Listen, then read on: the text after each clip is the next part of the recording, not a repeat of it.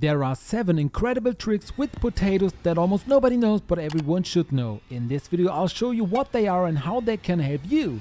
Trick number 1 can save us a lot of time. All you have to do is prepare a potato with a knife before you cook it. Just cut a line through the outer layer once around the outside as you can see here with me. You only need to cut through the outer skin, not the whole potato. And you don't need to cut that deep. Do this with all the potatoes you want to cook. Now you can cook them as normal. That's all you need to do with the potato first. And if you have finished cooking them now, you have a huge time advantage. Because thanks to this cut you can peel them much faster. Just put them in cold water for a few seconds. Then take them out again and hold them firmly with your fingers on both sides and simply pull them apart. As you can see in my case, you can remove the peel completely with your fingers in just a few seconds. And don't worry, the few seconds in the cold water won't make the potatoes cold. They are still hot and you can eat them straight away, but without having to peel them first. For our second ingenious potato trick you should rub a potato over your car in a very specific place. I'm talking about the wing mirror. But first you have to cut the potato open because we want to rub the cut surface of the potato over our mirror. This has two huge advantages because as you can see now when I rub it over the mirror all the dirt is removed. Even heavily uncrusted dirt or fly dirt is completely removed when we rub the potato over it. Incidentally, if you don't want to waste the whole potato, you can simply use the skin of the potato if you have peeled it. In this case, you should also rub the inside over the mirror. You may only need a few more small pieces of peel for this. And what we have also achieved now is that we have created a beading effect with the thin layer of potato that we have now applied to the mirror. It's not greasy, it's completely clear, but if water drips onto it, it will run straight down, it won't stick to the mirror. This will give you a clearer view through your mirror for much longer. For our next trick we also need a small amount of salt in addition to the potato. To do this, you should cut the potato open again and press the cut surface into the salt. You can use this to completely clean pots or stainless steel pans that have burned from the bottom because something has spilled over. And it's really super easy to do, as you can see now. As I said, cut the potato open once and put a small amount of salt on the cut surface. It is best to dip them in the salt several times. Once a sufficient amount of salt has adhered to the potato, you can use it in your pot or pan. Now simply start rubbing this amount over the pot from below. Press down hard and rub back and forth. You will see that after a short time, the first burnt areas will come off completely. You can also add a little salt from time to time if you need more. This way you don't have to use too much force and can quickly see the results and remove all the burnt areas from your pan. Finally wipe off any residue. Rinse the pot again and it will be clean and shiny again. Incidentally, you can also rub your windscreen with the potato as well as your car mirror. This also has two really enormous advantages. To do this you should cut open another potato and wipe the cut surface over the windscreen. Because it is important that we spread the liquid that we find in the potato over our entire slice.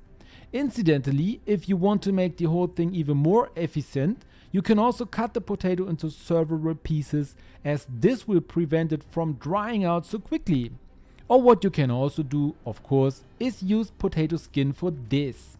If you have peeled potatoes anyway, don't throw the peel away, just use it for this trick.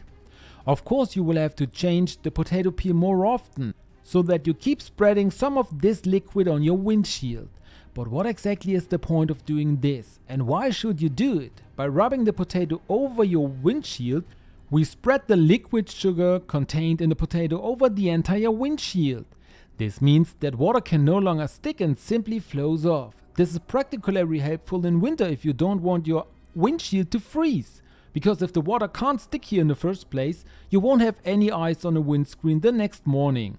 As with the side mirror you can also remove all dirt from the windscreen. This also completely removes uncrusted fly muck or other dirt. And if you already have potatoes, you can also start by rubbing them through your sink. This also has a huge advantage, especially if it is a stainless steel sink. Thanks to the starch contained in a potato we can clean it and remove even stubborn limescale stains. All you need is a sliced potato or of course just the skin if you don't want to waste the potato yourself. This means that you should definitely keep the skin if you have prepared potatoes. Now simply take the cut surface of the potato or the skin and rub it all over the sink. You will see that limescale stains and other stains are removed wonderfully. Once you've done this, grab a damp cloth and wipe over again to remove all the potato residue. The starch has now done the rest and everything should be clean again and is really shiny. Of course this doesn't just work on your stainless steel sink, you can also use it to polish stainless steel pots, pans or for example a stainless steel kettle to a high shine. And the potato can even help you on the shower door. I'll show you how now, because you're probably familiar with this picture too. You have a lot of limescale stains on your shower door and you actually have to clean or remove them to prevent limescale buildup. But you can't actually prevent this with the help of a potato. Unfortunately, you have to completely clean the shower door first so that there is no more limescale on it, because only then can this trick work at all. Once you have cleaned your shower door, grab a potato and rub the cut surface over your entire shower door. You can of course use potato peelings here too, as the ingredients in the potato peel work just as well as those in the whole potato. Of course you have to use the cut surface and change the potato peelings more often, but this way you can use them instead of just throwing them away.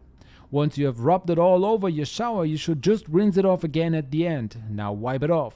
This will make the shower door clear again and thanks to the potato you have now sealed it.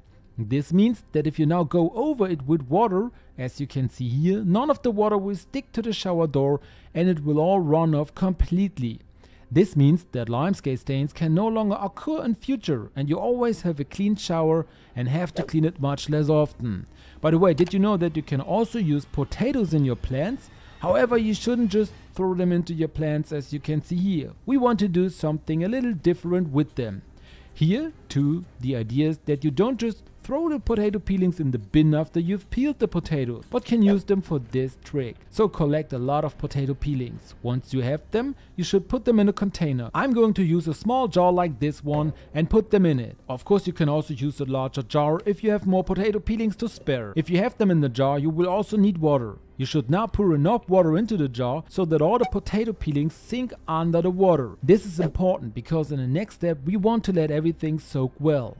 The best place to do this is in your fridge. Leave it in here for at least a week. When you take it out, you should pass everything through a sieve again, because we only need this golden liquid because in the potato skin we find many important nutrients that are good for our plants. So you can fertilize your plants every fortnight with this potato water and don't have to buy expensive fertilizer. By the way, did you know that you should tip this powder into your washing machine every 4 weeks? You can find out what it's all about in the video by clicking on the image in this video.